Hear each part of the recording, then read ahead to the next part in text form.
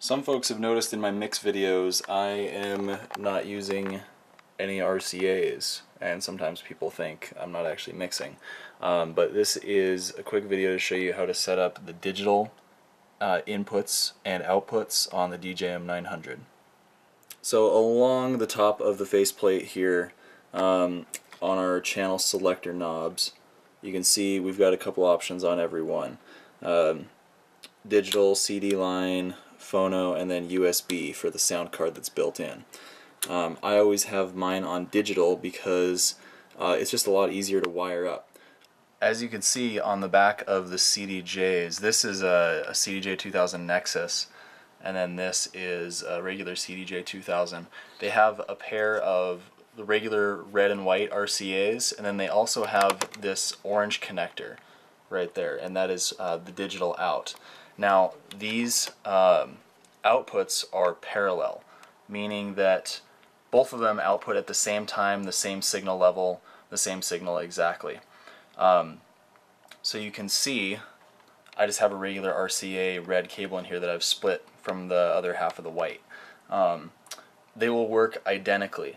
There's a little bit of a difference between a uh, digital coaxial cable and an RCA cable, but for short runs like these, there's not a whole lot of issue with using them.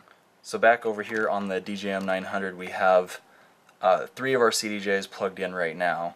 Um, the white one I have here is on channel 2, and again, the colors on these cables are totally arbitrary. These could be pink, blue, whatever color.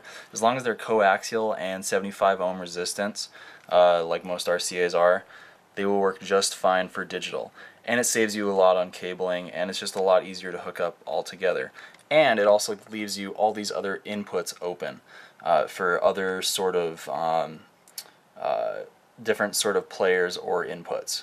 So you can have all of these also connected to another set of CDJs, if you will, and then you can simply just change whatever you're selecting on here. It makes it a lot easier.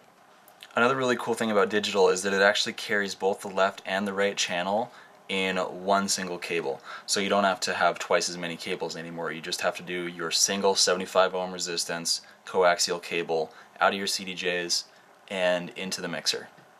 And again, you don't need to do anything fancy on the CDJ. They're just automatically outputting from both the RCA and the digital output.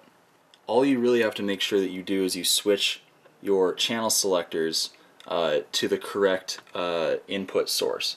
So obviously, if you're using all digital like I do, you just want to have all of your channel selector knobs switched to digital.